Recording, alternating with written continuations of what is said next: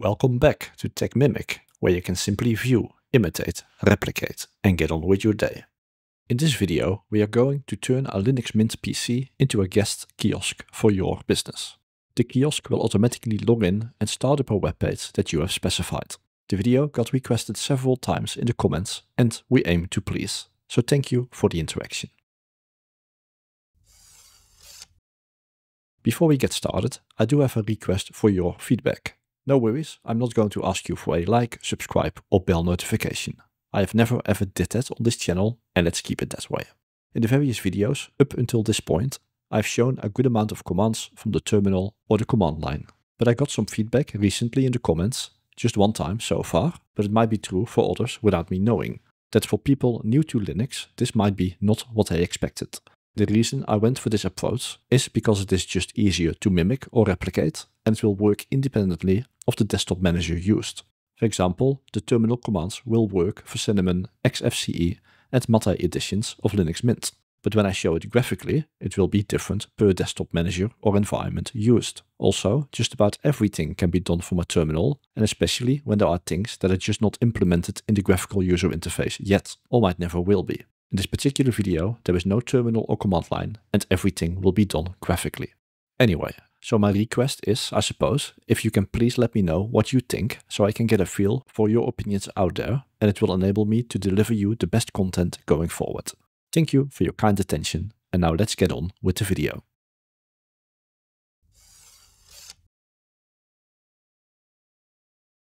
Here we have a freshly installed version of Linux Mint on the machine that I'm going to use for my kiosk. I've selected a machine name of kiosk PC. At the moment, there is just one user account, and that's the account specified during the installation. We will keep this user for administrative maintenance of the kiosk. So let's log in.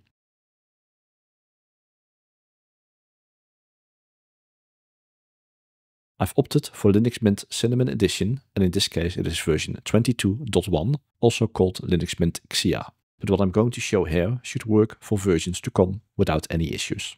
First, let's add a user account for the kiosk user. From the menu, click Administration, and then Users and Groups, and authenticate when needed. Click Add, and leave the account type to Standard, because we don't want the kiosk user to have any administrative privileges. Provide a full name, and the actual username kiosk user. Click Add, and now set the password, click the kiosk user and click No Password Set. Provide the new password twice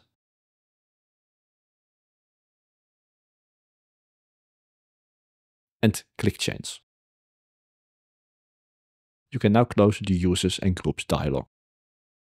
This is just an example of what I've explained and asked your feedback about in the beginning of this video because from the terminal this would just have been one single command and that command would have worked for all Linux Mint versions out there. Doing it from the graphical interface might be easier to follow, but it can be slower and different per version of Linux Mint. As always, I suppose it all depends on circumstances, situations and your comfort level.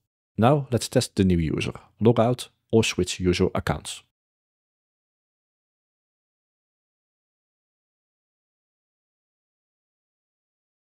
You will find the new kiosk user listed. Click it and provide the password.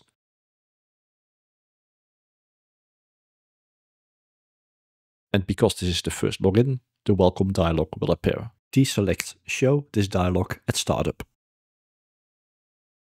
Also adjust the display resolution if you would like to.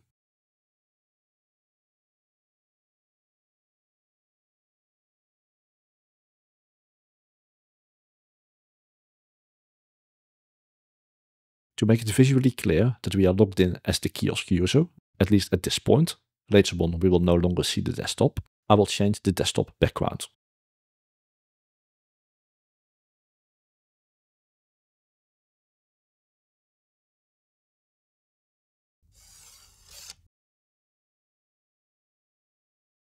Now that we have the kiosk user, we want to automatically start a browser upon login that will load a dedicated web page. We start simple and we build it from there. You will find that on Linux Mint Cinnamon, the Firefox web browser is installed by default. From the menu, select Preferences, and then Startup Applications. Here we are going to add the auto start of the web browser, but before we do, let's remove the update manager from this list, because this is not something we want the kiosk user to be bothered with. System updates can be done via the existing administrative user account, but not for the kiosk user. Select it and click the minus button. Now to add the auto start of Firefox, select the plus button and select Choose Application. Simply type Firefox and select Firefox web browser and click Add Application. Almost there, we need to add some customization. Select the Firefox web browser entry if not selected already and click the pencil button. I will change the name and the comment. And if you want, you can also add a startup delay. Now in the command field, type Firefox dash dash kiosk and then the URL that you want to start automatically.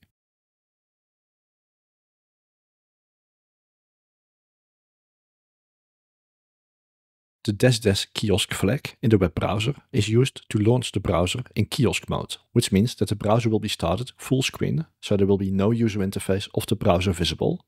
There will be no address bar, no tabs, no bookmarks, no menus, no scroll bars, and no window controls like minimize, maximize, and close. The kiosk mode is designed for public displays like kiosk terminals at airports, workshops, or public buildings. Once done, click Save. Now you can test the Firefox Auto Start without actually having to log off and then back in. Just click the play button.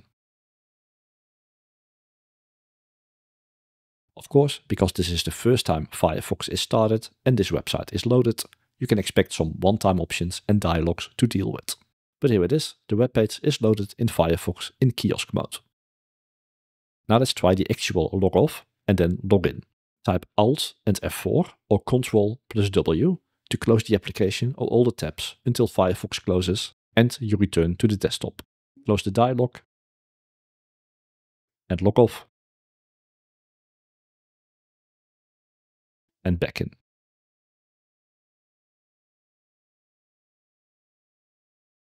Again, more one-time dialog boxes to close, but you are getting there.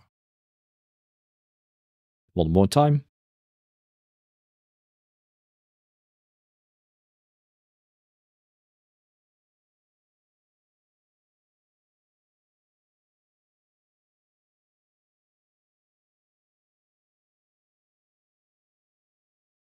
And there we are. When the kiosk user logs in, Firefox starts in full screen kiosk mode and the web page is loaded. Now to do the same for Chromium or Google Chrome, but let's use Chromium today, I hear you ask. Close Firefox and open the software manager. Search for Chromium and install it.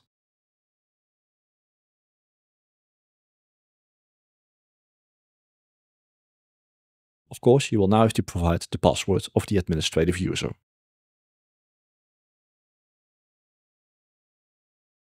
After it is installed, let's start it until there are no more one-time dialogues to deal with.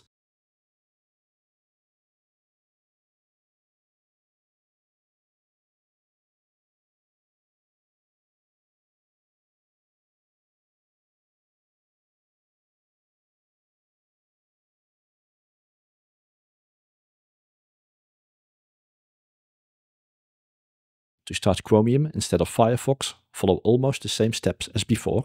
From the menu, select Preferences and then Startup Applications and remove the Firefox entry. Now add Chromium and do exactly the same as before.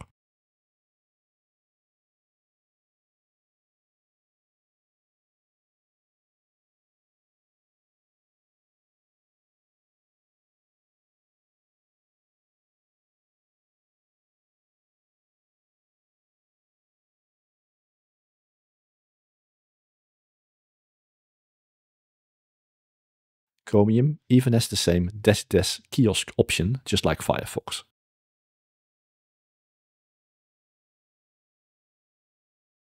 And once again, test the entry. And test the auto start upon login of the kiosk user.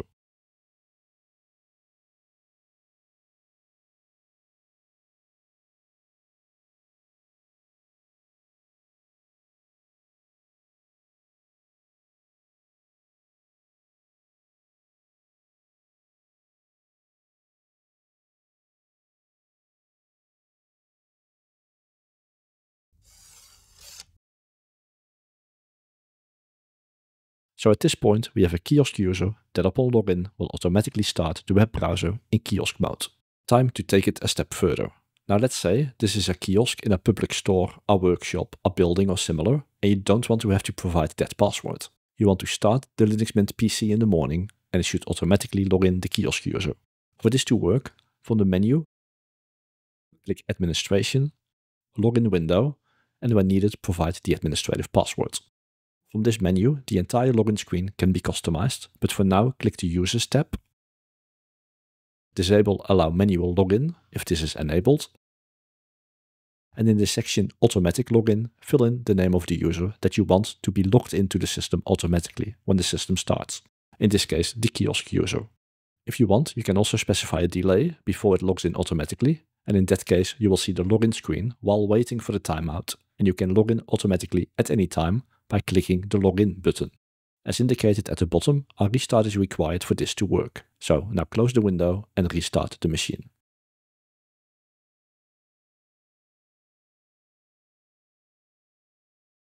After the restart, the kiosk user is logged in, but as you noticed, it will continue to ask for a so-called keyring password. This happens because the keyring daemon expects the user's login password to unlock the default keyring.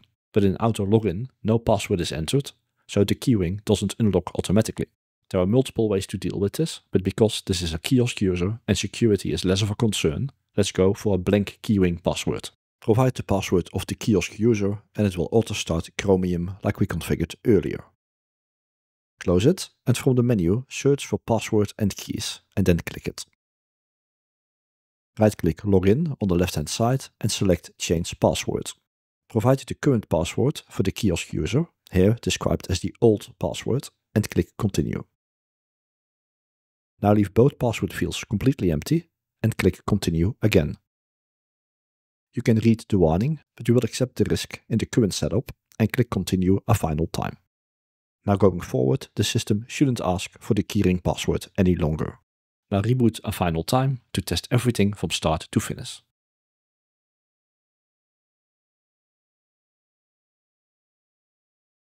And there you have it a kiosk user that automatically logs on and start a web page in the web browser of your choice.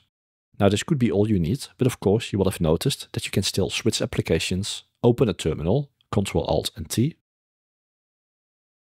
or close the web browser to get back to the desktop. And of course we can do better, because the topic of the next video will be to further lock down this kiosk user and to provide more browser related options so that the user will be unable to leave the browser, execute any commands open any other websites, or do anything at all besides visiting that specific web page that you have selected for them. We will even go so far as to not load Cinnamon at all, but just the browser in a restricted environment.